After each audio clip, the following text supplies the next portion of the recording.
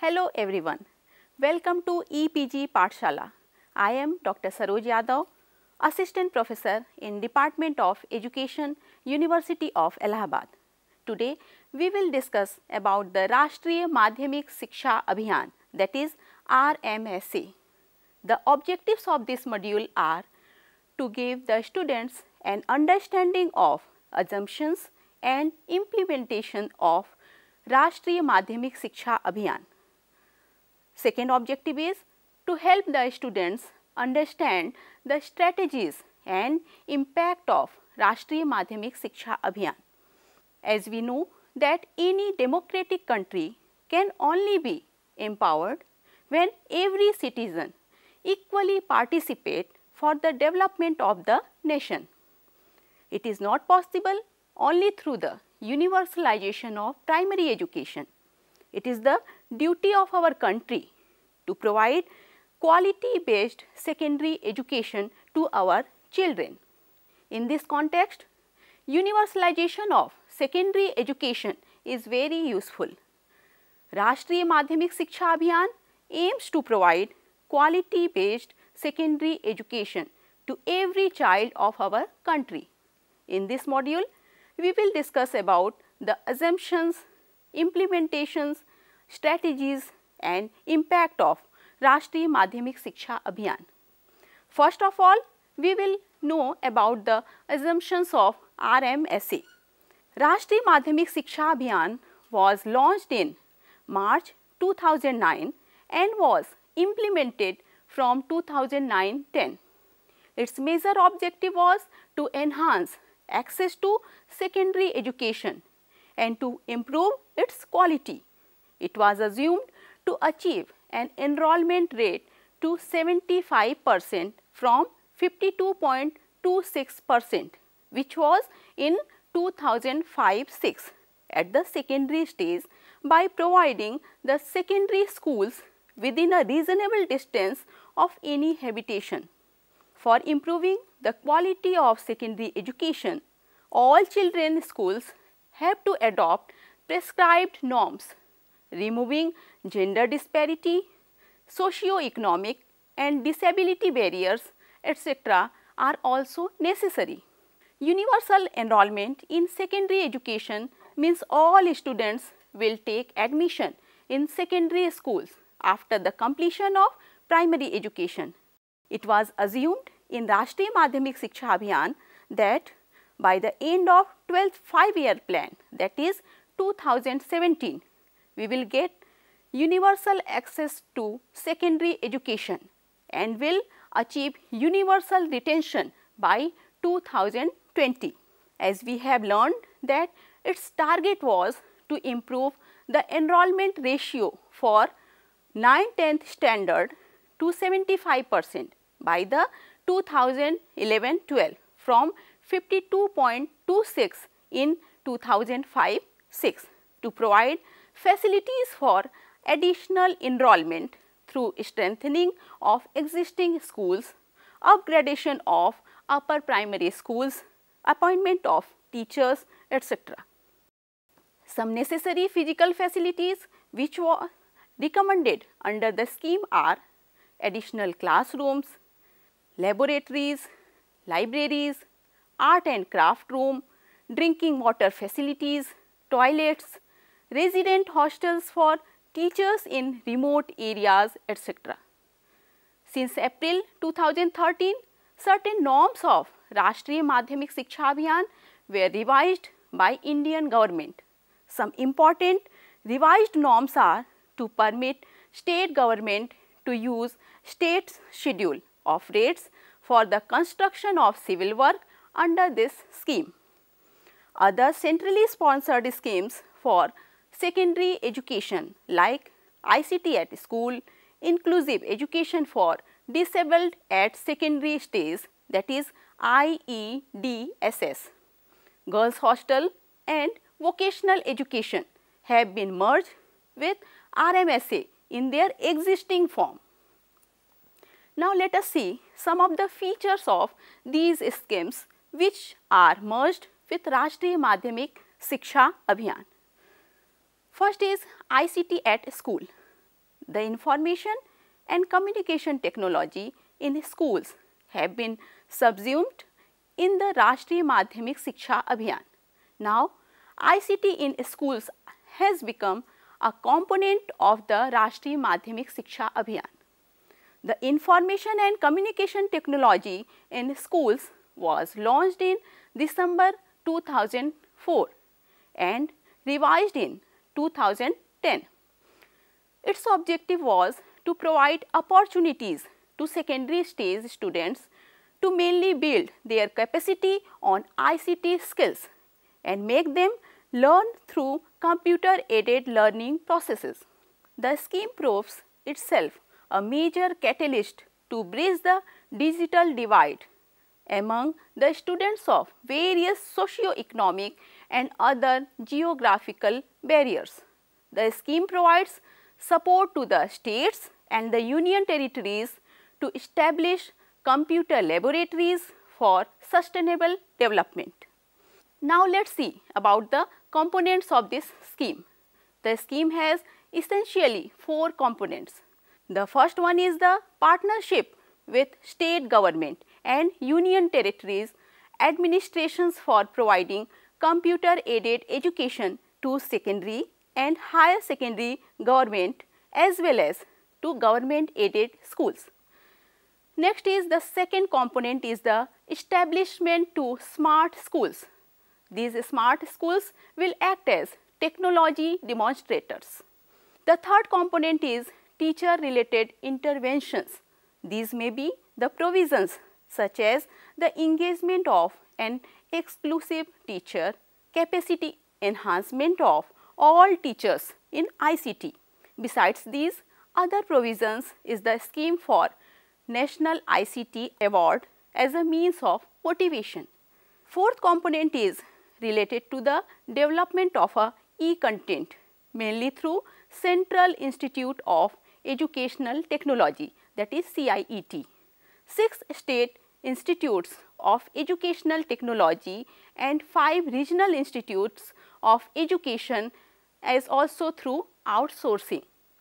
Dear students, now let us know about the second scheme that is inclusive education for disabled at secondary stage that is IEDSS. The scheme of inclusive education for disabled at secondary stage has been launched from 2009-10.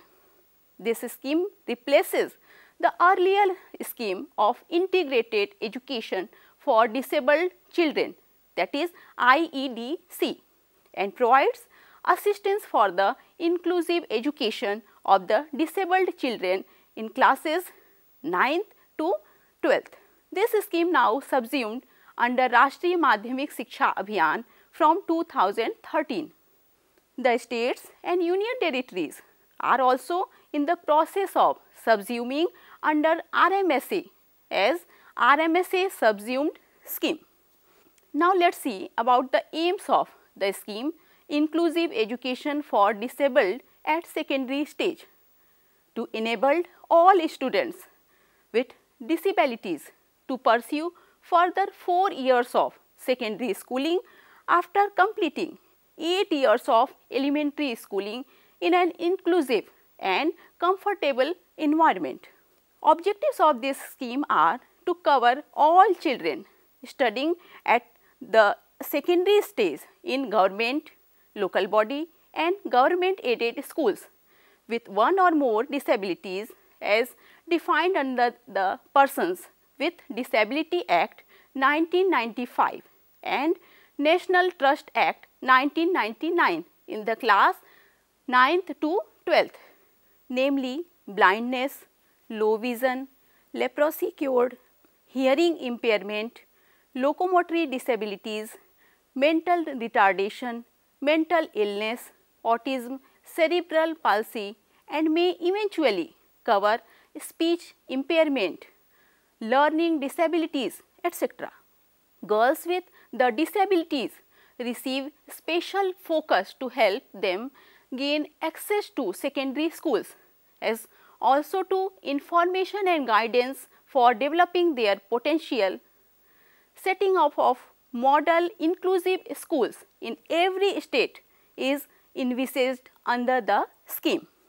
Now, major components of this scheme are first is student oriented components such as medical and educational assessment, books and stationery, uniforms, transport allowance, reader allowance, stipend for girls, support services, assistive devices, boarding and lodging facilities, therapeutic services, teaching learning materials, etc. Next are other components include appointment of special education teachers, allowance for general teachers for teaching such children, teacher training, orientation of school administrators, establishment of resource room, providing barriers free environment etc. Now, let us see about the scheme of girls hostel. The scheme for construction and running of girls hostel for students of secondary and higher secondary schools is a new centrally sponsored scheme launched in 2008-9 and is being implemented from 2009-10 to set up a 100 bedded girls hostel in each of 3479 educationally backward blocks in our country. The scheme has replaced the earlier NGO drive-in scheme for construction and running of girls hostel for students of secondary and higher secondary schools under which assistance was provided to voluntary organizations for running girls hostels. Now, let us see the objectives of this scheme. Main objectives of this scheme is to retain the girl child in secondary school so that girl students are not denied the opportunities to continue the study due to distance to school, parents financial affordability and other connected societal factors. Another objective of the scheme is to make secondary and senior secondary education accessible to a large number of girl students. Its target group is the girl students in the age group of 14 to 18 years studying in class 9th and 12th belonging to SC, ST, OBC, minority communities and BPL families will from the target group of the scheme.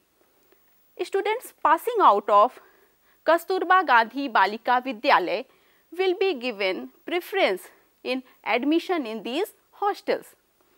At least 50 percent of girls admitted will be from SC, ST, OBC and minority communities.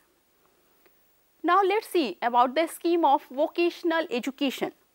The centrally sponsored scheme of vocational education provides for diversification of educational opportunities so as to enhance individual employability, reduce the mismatch between demand and supply of skilled manpower and provides an alternative for these pursuing higher education. The centrally sponsored scheme of vocationalization of secondary education at plus 2 level is being implemented since 1988. The revised scheme is in operation since 1992-93. The scheme provides for financial assistance to the states to set up administrative structure, area vocational survey, preparation of curriculum, textbook, workbook, curriculum guides, training manual, teacher training programs, strengthening of technical support system for research and development, training and evaluation etc. It also provides financial assistance to NGOs and voluntary organizations towards implementation of specific innovative projects for conducting short term courses. The scheme so far has created infrastructure of 21,000 sections in 9,619 schools and creating a capacity of about 10 lakh students at plus 2 level. The grants released so far since the inspection of scheme is rupees 765 crore. Based on the recommendations of various committees, the existing scheme is being revised. Centrally sponsored scheme of vocationalization of higher secondary education has been revised and will know as vocationalization of secondary and higher secondary education. This scheme has already been subsumed under Rashtriya Madhyamik Shiksha Abhiyan with effect from 1st April 2013. The major changes in the scheme are as follows. First is introduction of vocational education from class 9 onwards that is at the secondary stage. Second is 75 is to 25 sharing pattern between center and states for funds released under all the components of the scheme. 90 is to 10 sharing pattern for funds released to the northeast states including Sikkim. Next is provision for a flexible pool of rupees 14.50 lakhs per annum per school for engaging resource persons including teachers, skill knowledge providers, trainers etc. Provision of financial cost for engaging with the industry, sector, skill etc. Now benefits of Rashtriya Madhyamik Shiksha Abhiyan have been extended to aided secondary schools also. Ministry of Human Resource Development directly provides funds to the state governments.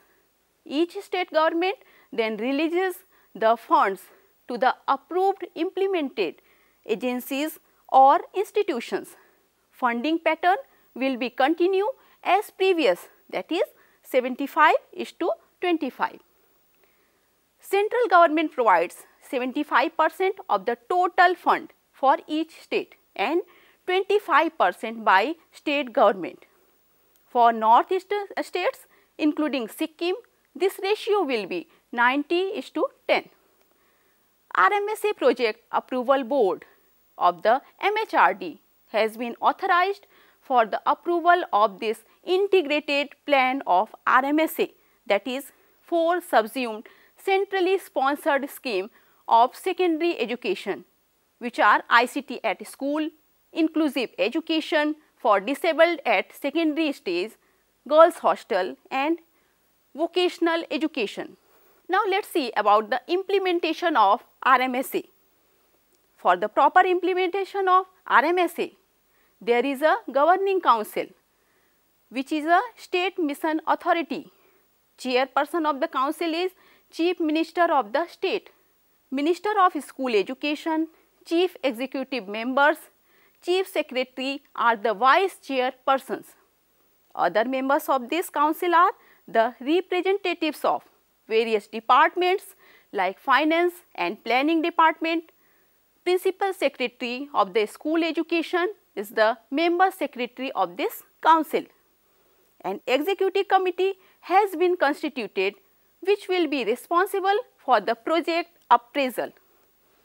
Principal Secretary of the School Education is the chairperson of the Executive Council. Director of School Education is the State Mission Director of Rashtriya Madhyamik Shiksha Abhiyan. Secondary Education Management Information System, District Level Core Group, School Management and Development Committee has been constituted. Apart from this, Parent Teacher Association at school level also has been constituted. As we know that Parent Teacher Association is very essential for the decentralization of authority in educational institutions. It is beneficial both for schools, teachers and parents. So, it is also a praiseworthy effort of Rashtriya Madhyamik Shiksha Abhiyan status report on secondary education has been sent to NUPA. Now let us see about the strategies of RMSA. As we know that there is very much differences in schooling facilities in different areas of our country. These are very much disparities in quality of education between the primary and government school. For eradication of these disparities and providing universal access to quality secondary education, specially designed board norms should be developed at the national level. Educational provisions should be made for each state according to their geographical, socio-cultural, linguistic and demographic conditions. Infrastructure facilities and learning resources should be developed properly. Upper primary schools are being upgraded based on micro planning with necessary infrastructural facilities and teachers. Secondary schools are being upgraded based on the requirements. Among them, specially ashram schools are being upgraded. These ashram schools are very useful for the education of children in remote areas. New secondary schools and higher secondary schools will get infrastructural facilities and learning resources. Necessary infrastructure like blackboard, furniture, libraries, science labs, computer labs, toilets, etc. must be of good quality. Additional teachers will be appointed and their in-service training will be arranged. Bridge courses are necessary for the children who have left schools before the completion of their schooling. Bridge courses will ensure the enhancement of learning ability of students. Curriculum will run according to NCF 2005 norms. There will be the arrangement of the accommodation of teachers in remote areas, especially for female teachers. Students of SC, ST, OBC and minority communities will get free boarding and lodging facilities. Girl students will get hostels, residential schools, uniforms, books, separate toilets, etc. At secondary level, meritorious and needy students will get scholarships. Inclusive education will get preference. Differently able students will get necessary facilities in the schools. Necessary physical and human resources will be provided to schools for inclusive education. Students who cannot pursue full-time secondary education, open and distance education facilities will be provided to them. As we know that nowadays demand of open and distance education is increasing very fast. So, open and distance education facilities will be expanded for the supplementation and enrichment of face to face instruction.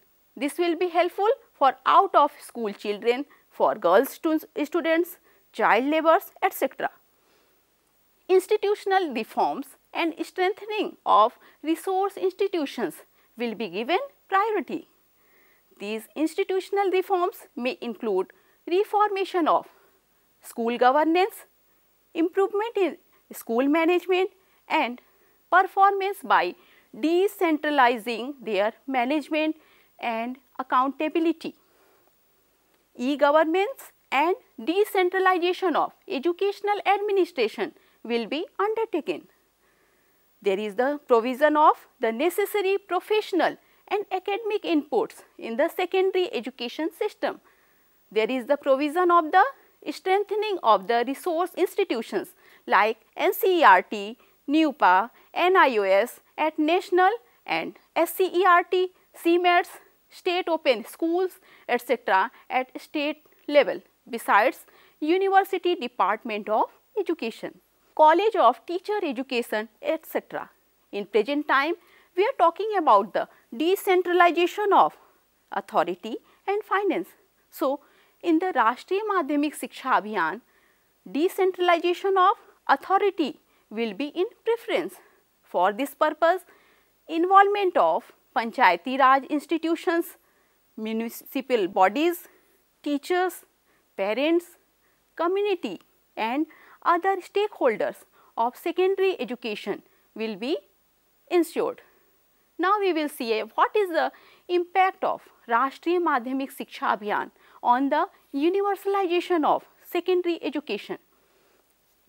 There are many challenges in the implementation of Rashtriya Madhyamik Shiksha Abhiyan like lack of economic resources, lack of awareness of guardians, not proper implementation of educational planning, reluctance of administration, disparities in schools, no control over fee structure, uncertain norms, lack of teachers, etc.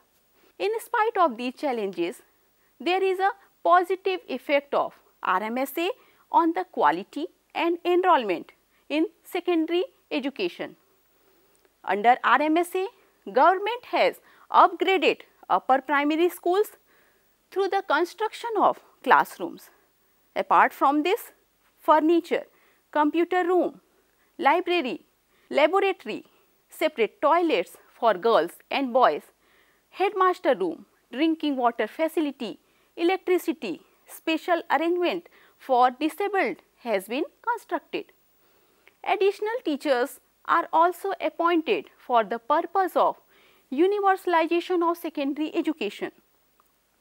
Efforts have been made for the strengthening of existing secondary schools through constructions of classrooms, laboratories, computer rooms, telephone, internet, etc. Special incentives are given to girls.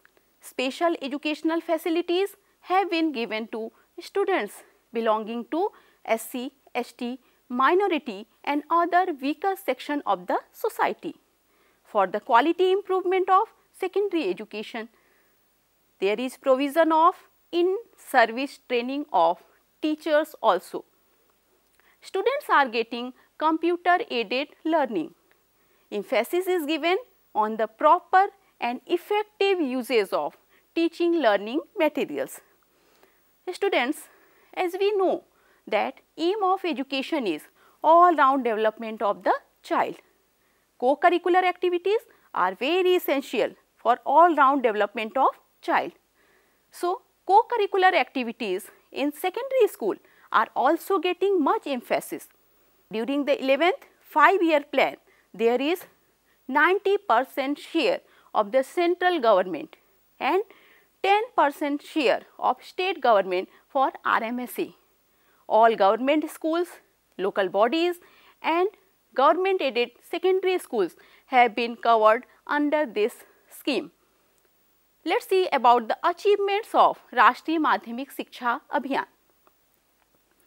Major achievements of Rashtriya Madhyamik Siksha Abhiyan as of 2015-16 report are the 11,577 new secondary schools were sanctioned out of which 10,082 are now functional.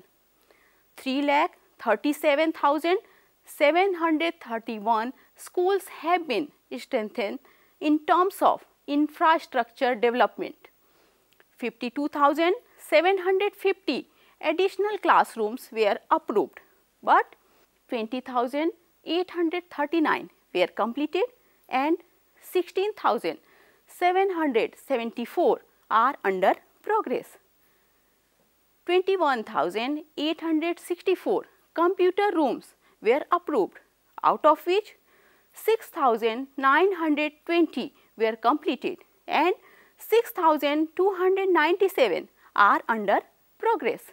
25,948 science laboratories were approved, but 10,107 were completed and 8,532 are under progress. 27,428 library rooms were approved, out of which 10,133 were completed and 8,928 are under progress. 31,453 art and craft room were approved, out of which 12,062 were completed and 9,686 are under progress. Drinking water facilities have also been enhanced. 5,408 teachers quarters were sanctioned, out of which only 623 were completed and 509 are under progress. 2,975 major repairing work have been sanctioned, out of which only 623 were completed and 271 are under progress. Recruitment of additional 1 lakh 79,000 additional teachers was the target, but 59,000 have been recruited. 100 percent teachers have got the in-service training. So, now dear students, let us have a brief view of the Rashtriya Madhyamik Shiksha Abhiyan. In this module, we have discussed about the assumptions, implementation, strategies and impact of Rashtriya Madhyamik Shiksha Abhiyan. It was launched in March 2009 and was implemented from 2009-10. Major objectives of Rashtriya Madhyamik Shiksha Abhiyan was to enhance access to secondary education and to improve its quality. Other centrally sponsored schemes for secondary education like ICT at school, inclusive education for disabled at secondary stage that is IEDSS, girls hostel and vocational education have been merged with RMSA in their existing form.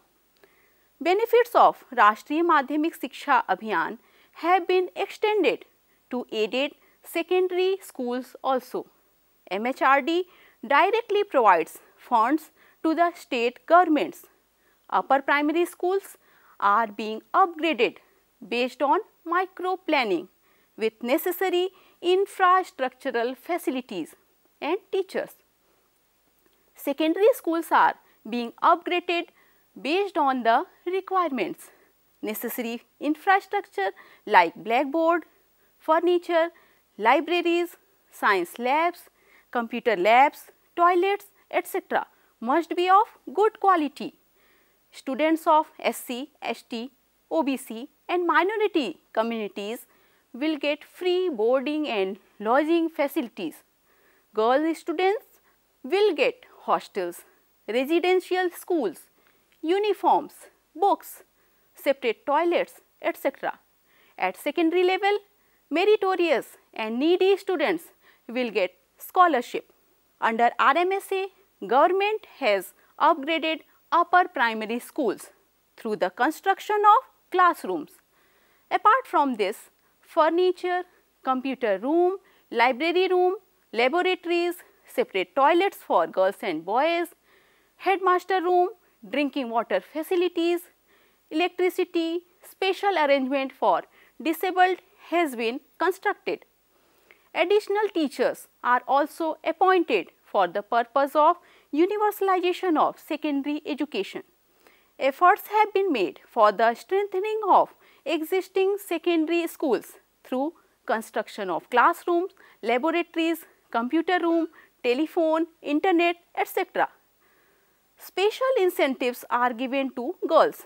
Special educational facilities have been given to students belonging to SC, ST, minority and other weaker section of the society. For the quality improvement of secondary education, there is provision of in-service training of teachers also. Students are getting computer aided learning. Emphasis is given on the proper and effective uses of teaching learning materials. Thank you.